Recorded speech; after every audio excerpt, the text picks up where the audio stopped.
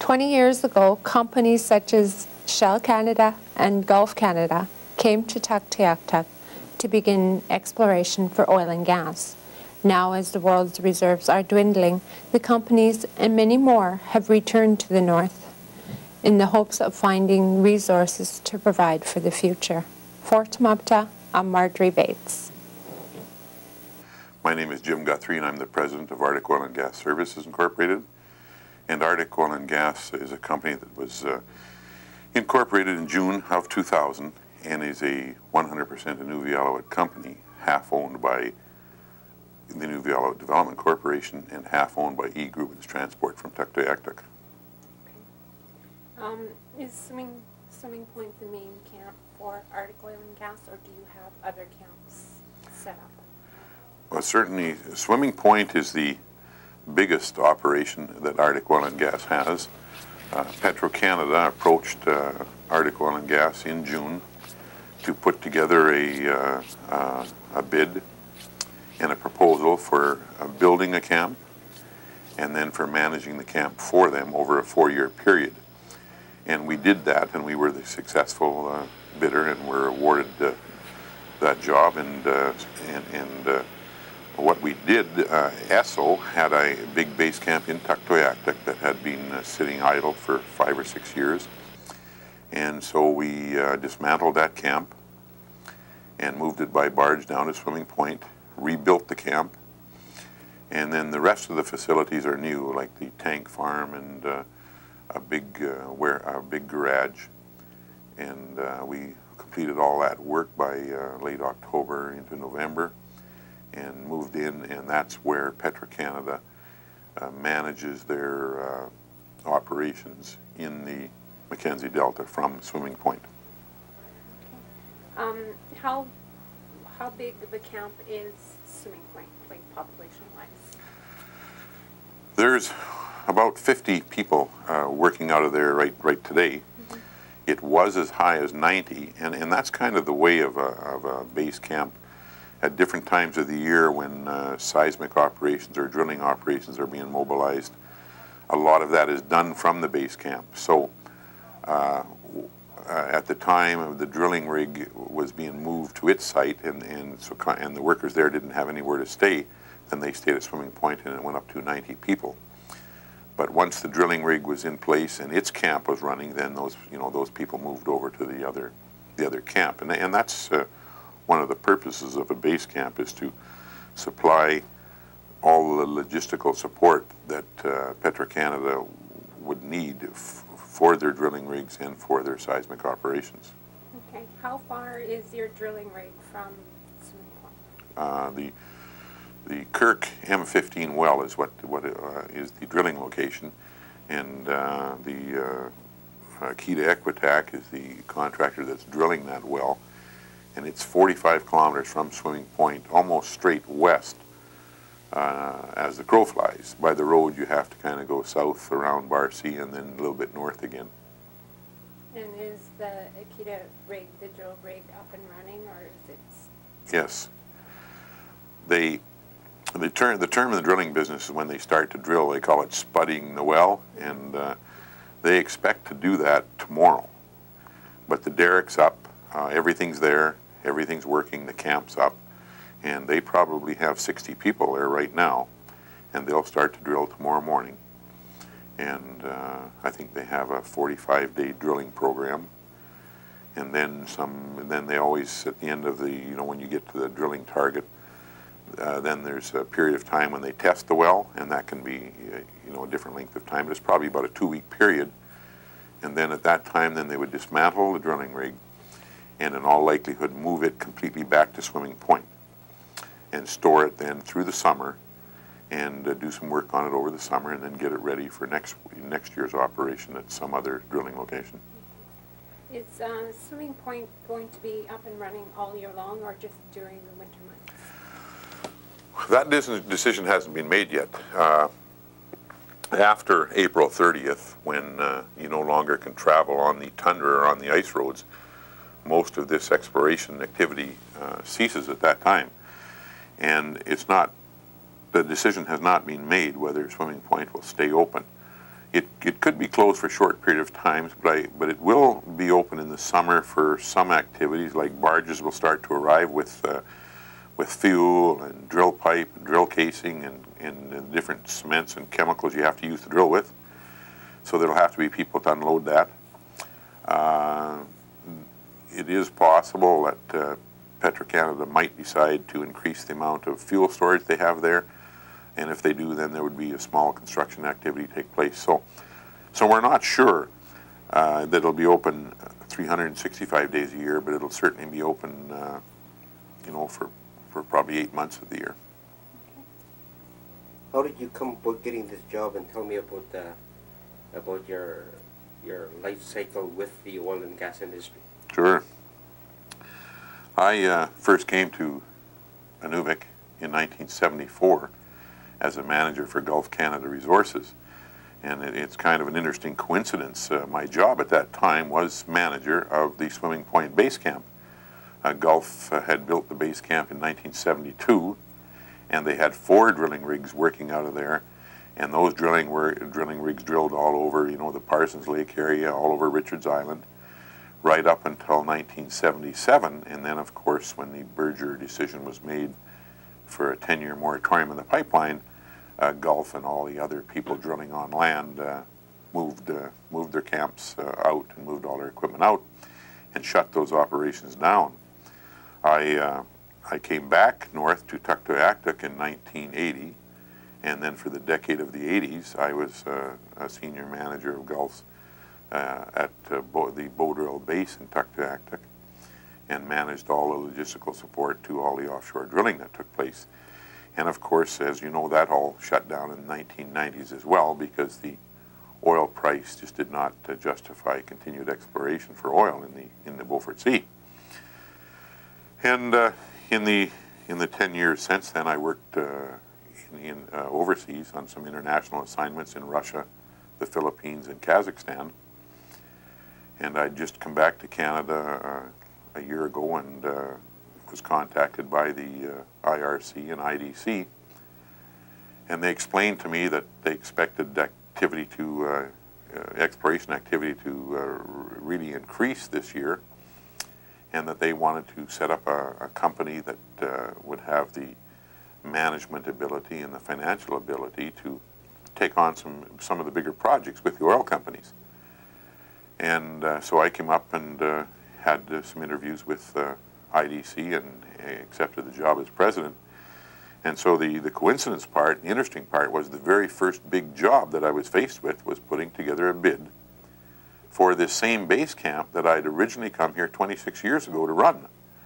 And uh, we did put it together and we got it and uh, and uh, and, and then uh, a further coincidence, uh, one of the first base managers I hired to run that is named Bruce Alexander, and Bruce also uh, was here 25 years ago and ran that, that camp. In fact, uh, we've been able to encourage about six uh, of our senior staff, our people that worked here in the 70s on, on, on land operations and worked here again all through the 80s in offshore drilling operations. They all uh, love working in the Arctic and uh, they, they were all excited to come back and, uh, and they're helping us run this company. Now, I, I, think I should take some time just to explain uh, the uh, goals and objectives Arctic Oil and Gas has work-wise. Uh, what IDC and uh, Transport envisioned when they set this company up was a company that would be able to uh, bid on some of these base camp operations that would be coming up and uh, and be able to uh, build them and to manage them. And of course, we've been successful at Swimming Point. And then also to have a company that could uh, offer catering services. And we, uh, we've been very fortunate. We are catering for every camp that's out there this year, which is a total of nine. And that's where most of our Inuvialuit employees, like the high number of Inuvialuit employees, are working in catering.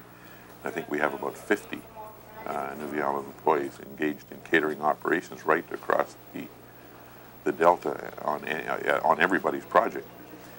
We also supply uh, medical services. Uh, we have a uh, contract with uh, Park Ambulance and uh, Like here, the- and next know, year, we'll have a joint in all of venture with them to camps, uh, supply medics at all these locations. And uh, we also are doing some project management. And, uh, for example, with Petro-Canada, we manage the 40 pieces of equipment that they have on contract. We uh, assist them with that. That goes through us. And we, we have a lot of experience in ice road construction, uh, the building of a drilling lease, the cleaning up of a drilling lease, and that kind of work. And so that's, that's, uh, that's our mandate. We've, we've had a successful first year, and uh, we're quite, uh, you know, we're quite proud of uh, the work we have been able to get, and quite proud of the high number of uh, Inuvialuit Northern employees that we have working for us at this time. How has the um, exploration, oil and gas exploration business changed in the last 26 years? Well, it's changed for sure. I think uh, uh, we're all a lot better at it. Uh, a lot of the technologies have changed in that uh, the oil companies have done a lot of work finding more environmentally friendly ways to drill. For example, 25 years ago, uh, they had to uh, dig uh, fairly large sumps, open sumps to contain the drilling fluids they had to use the drill with. However, there's been lots of advances in that technology where they use centrifuges and different things so that so that really at the end of the well it's just the cuttings from the hole itself and a little bit of drilling mud that they have to uh, dispose of rather than huge volumes of water. And so the sumps are uh, oh, reduced to probably by 75% to something much smaller, much easier to contain and to bury and to so that it doesn't become a problem in the future. Uh, they drill quicker, and so uh, that hopefully will allow them to drill more wells in, in a shorter period of time and reduce the cost because the cost of drilling in the Arctic when you can't drill or you can't move around the summer are really high compared to other places, you know, where you can drill through the summer quite easily. Uh, so there's changes there, and, and I think there's, I think there's a, a, a much better attempt and a much better understanding of the requirement to absolutely maximize the amount of people from here that are employed, the amount of businesses that are used here. And, and, and of course, part of that is, you know, part of that is also driven by the cooperation agreements that the oil companies sign with the Inuvialuit.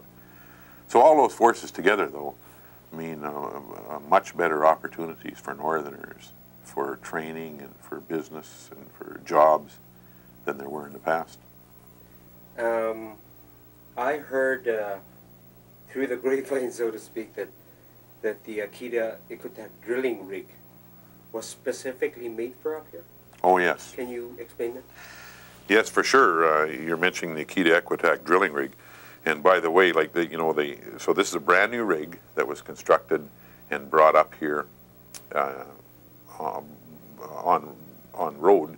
It uh, didn't get built in time to bring it by barge.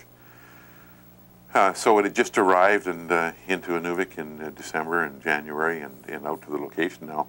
And Akita is building three more drilling rigs, but all of them are specially built and specially designed for Arctic conditions. Uh, I don't know the, all the specifics of that because I'm not a driller myself, but I mean, just one of them is for the, the cold weather. Like, even though it's been a mild year, nevertheless, it's still pretty cold for the people that are working on that drilling floor. And so the rigs are well, uh, well insulated, well designed for where the, where the men and women are working so that they're out of the, you know, out of the bad weather. Can you tell us your name, uh, your job title here, and who you work for, where you're from? Okay, my name is Bruce Alexander. My position here is base manager of the Swimming Point uh, Support Base for Petro-Canada. And I've been in the Arctic for quite a number of years. I originally came here in 1972 and uh, worked for Gulf for 20 years in the Delta here as well and in the, in the northern part of the Tuk Base. And then we went uh, international for a number of years, and then I came back, and I'm now working for Arctic Oil and Gas in this current position. So you came full circle. Full circle, yeah. I started with Gulf right at this base, and I'm back here 26 years later, so. So what are some of your responsibilities? Did, did you mention that already? No, I haven't. Uh, In this position, uh, we manage the logistical base for Petro-Canada, which is the client. So we look after uh, housing and support facilities on the base. Uh, Provide, uh, they have their own aircraft, we provide support for the aircraft facility, uh, trucks, labor crews, things like that, to support their drilling activities. We look after all the catering for this camp as well as other camps in the Delta. And this position is on a four and four rotation. I'm here four weeks, then the cross shift, Cody Seabrook is here for the, for the other four weeks. So it's manned 24 hours a day, seven days a week. Thank you. You're welcome, thank you very much. Equtak Drilling, uh, we've been in partnership with the Inuvialuit Development Corporation since 1983, and so we have a very long-standing relationship with this region.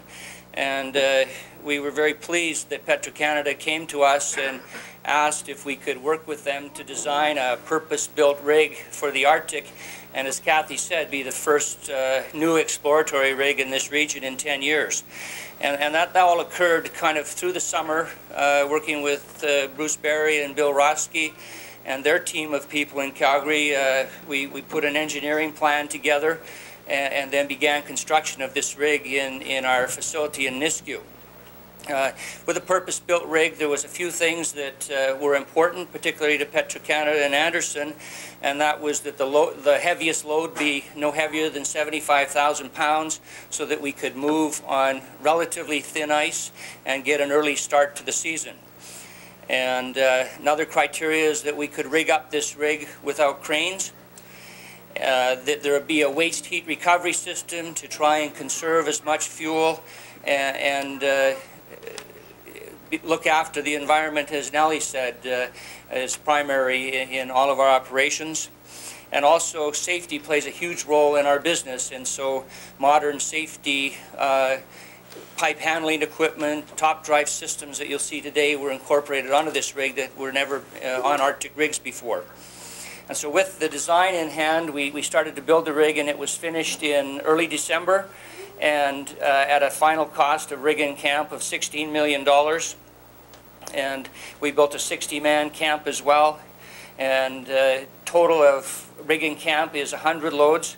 And that was trucked up the Dempster Highway into Inuvik and, and racked on the east side of town until we had enough ice to be able to move out to the Kirk location. The rig moved in early February, uh, spudded its the first well in, uh, I think it was February 9th, and has been drilling safely uh, and without problem ever since.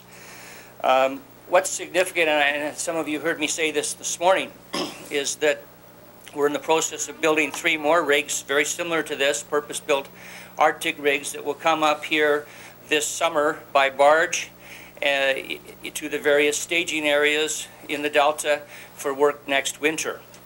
Uh, I estimate that there will probably be some 1,500 truckloads of rig that will, uh, or of rig equipment and drilling-related equipment like mud, cement products, and tubulars that will be brought to Hay River and then barged down to the Inuvik region and to the staging areas come August and September this year. And so I guess if, if you think it's busy this winter, just wait till next year. And uh, I think it's been good for industry and, and good for the communities here to, and then the region to be able to have uh, some seismic programs and one drilling program to kind of kick off uh, the return of the, particularly the natural gas industry to the Arctic.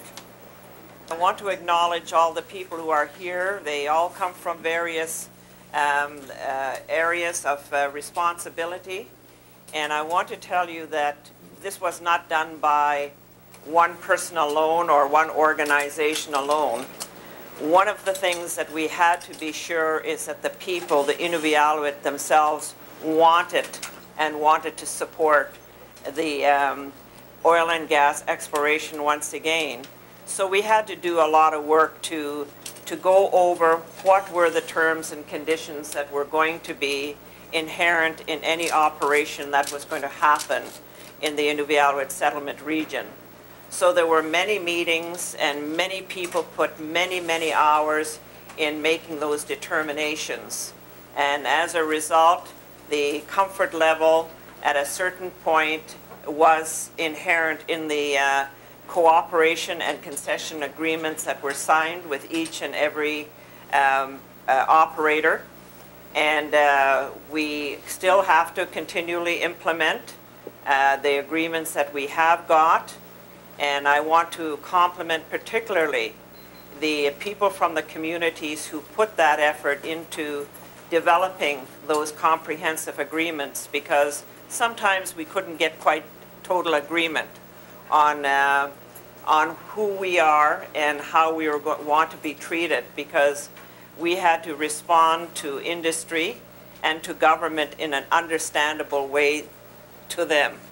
Easy for us, but very difficult for industry and government to look at a new way of doing business under a final land claim agreement.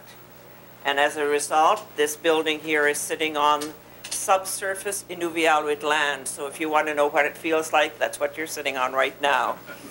And um, we'd also like to compliment the contractors because uh, we had a lot of difficulty in the last while to try to find enough work to keep our contractors and our local businesses busy enough so that they would be able to continue because we always had the faith and we always had the belief that the resources were here and it was only a certain period of time before this would be triggered.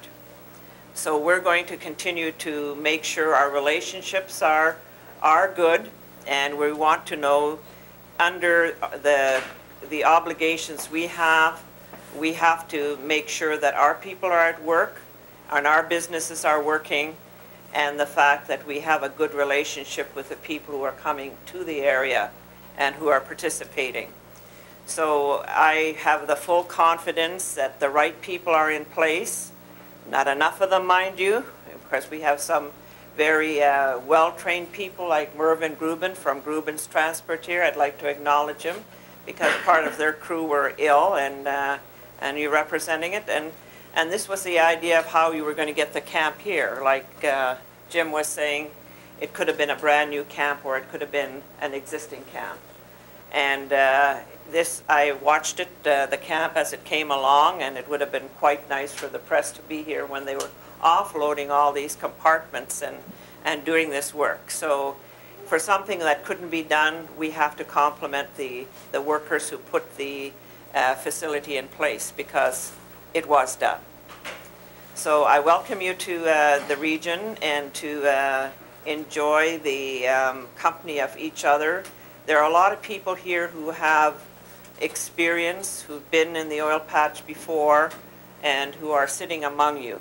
And uh, they can answer a lot of detailed questions about what happened before, why it's happening today, and the fact that we would like to build our vision to make sure every person has a place in the new development of the oil and gas industry here. There's one thing that's very different in, in what's going on now. A lot of people had fear of the development of oil. That was the biggest catch we had when we were in the last um, oil and gas uh, activity up here. People were looking for oil. And people were apprehensive because of what happened in Alyeska. People had that fear. But with gas, it's, a, it's an easier movement and it's a cleaner product and people feel that this is not something that would be environmentally damaging. It can be handled and it's not disruptive. So those, that's a difference that people see between the previous uh, quest for gas and the present quest for, or the previous quest for oil and the present quest for gas. So these are the two, the, the very major difference. And the fact that we have a claim and we're going to be involved and will set the stage to be involved. And the rules will be clear and understandable